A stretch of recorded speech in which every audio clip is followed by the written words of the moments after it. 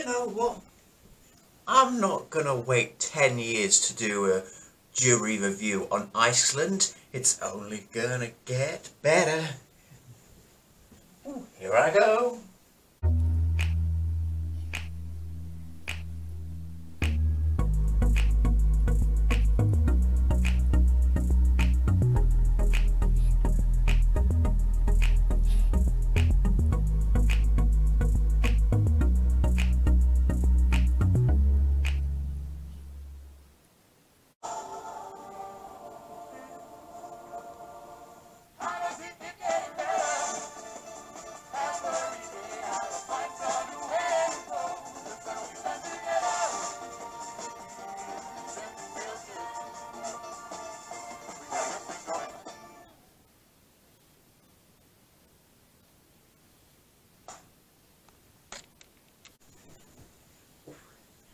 Hi here, Finss here. I'm back for another video and today I'm reacting to the Icelandic, not reacting, I'm doing another personal jury review uh, on the Icelandic entry for Eurovision 2021. I'm getting my videos mixed up now.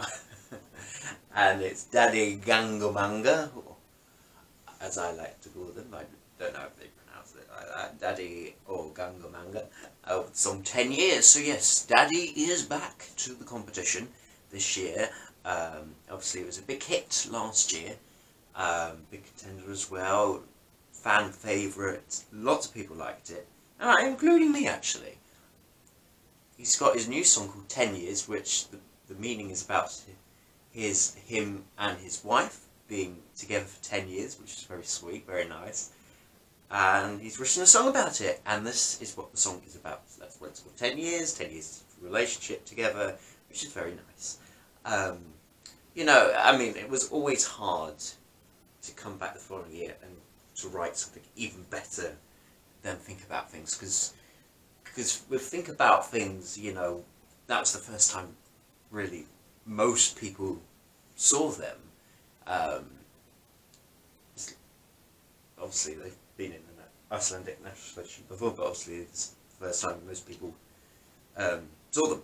So it was always hard to come up with a new song. But I'm happy to see them at Eurovision this year. I'm happy they were internally selected for Iceland again because I knew they had it in them to write an even better song.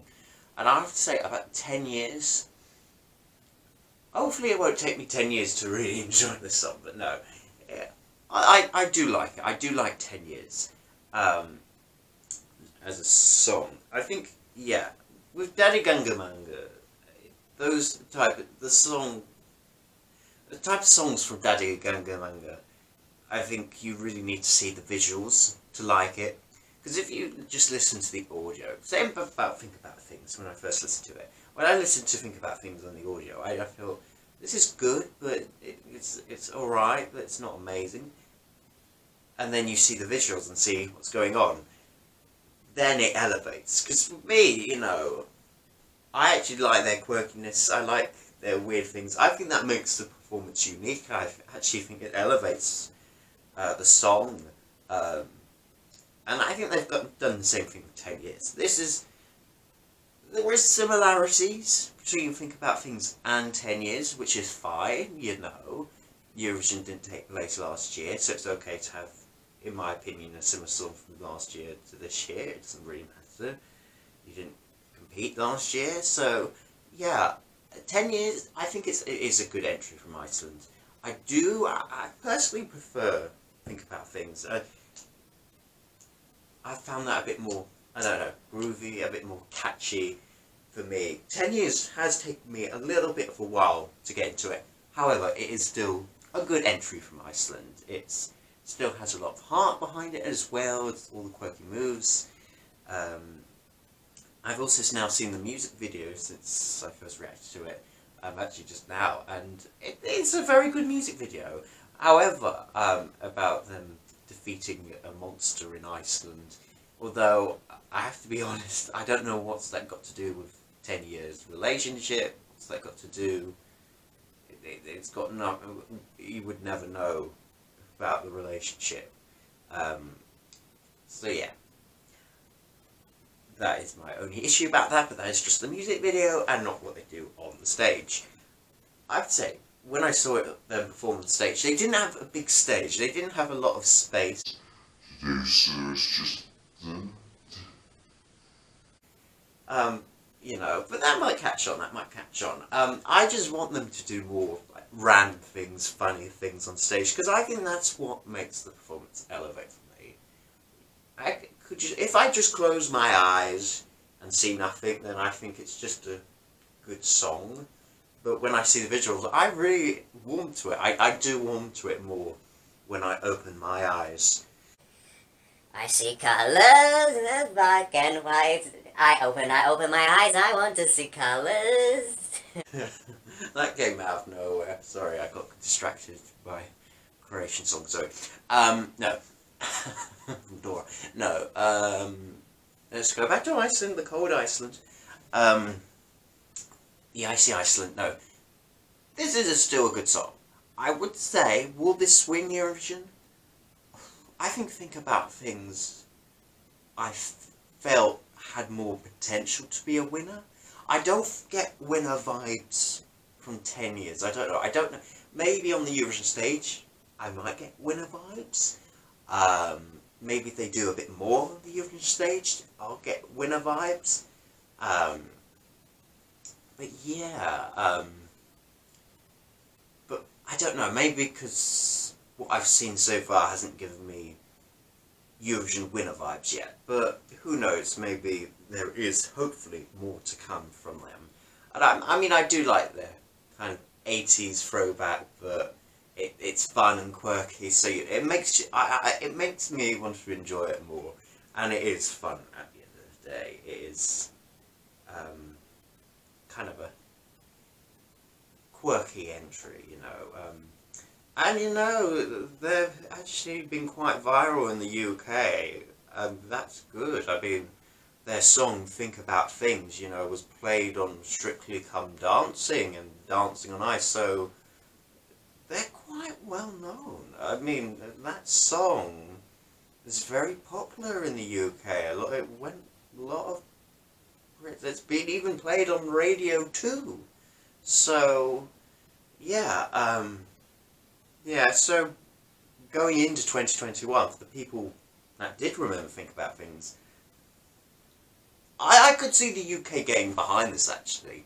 I wouldn't be surprised if the UK televote actually gave them 12 points um, in the semi or in the grand final because we can vote for them because they're in the in semi final too. So they could get the UK 12 points from the televote.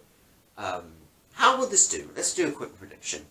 This is qualifying. I think we, I, I yeah, yeah. I'll be very, very, very, very, very, very, very, very, very, very, very, very shocked if this doesn't qualify for Iceland. Um, yeah, I, I think it's not how well will they do. That's the thing. How well will this song do in the final? It's a tough one to predict. Just don't know how this one's going to go. And of course, Lithuania, The Roop, is competing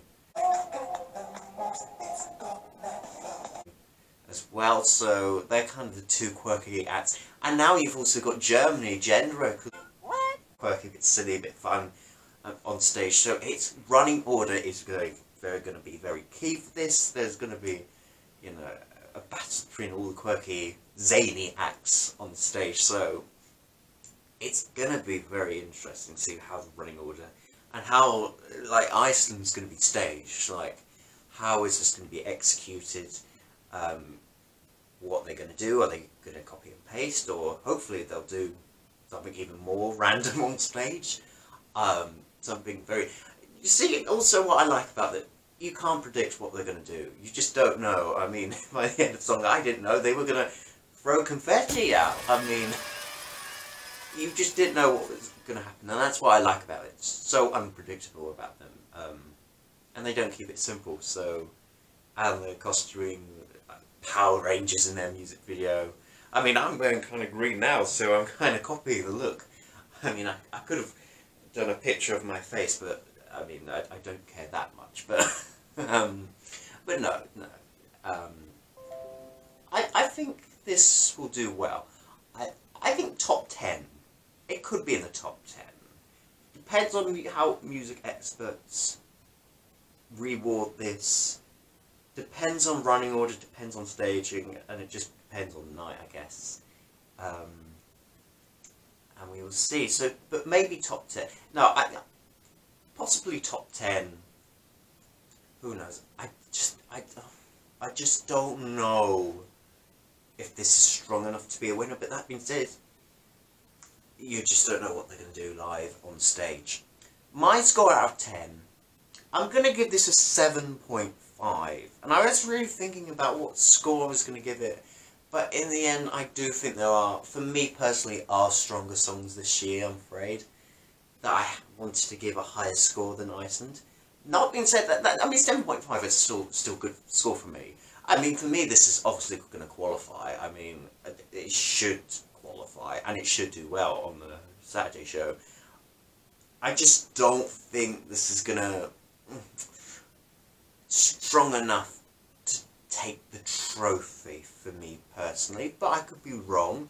They could do something out of the box and something we didn't see. I mean, I mean, Kate Miller, Kate Miller from Australia. People said that was going to not qualify Australia. People, you know, I think we were just hoping it was going to qualify, and then she came on the stick and then blew us away, won her semi-final, and then we were kind of, then she became a contender to win, and she didn't. She came ninth in the end. So, but she, still, though, still, that could actually could happen to Iceland if they do something unpredictable on stage. But you never know. But anyway, um, what do you think? How does it keep getting better? Well, you can comment down below in the comment section below.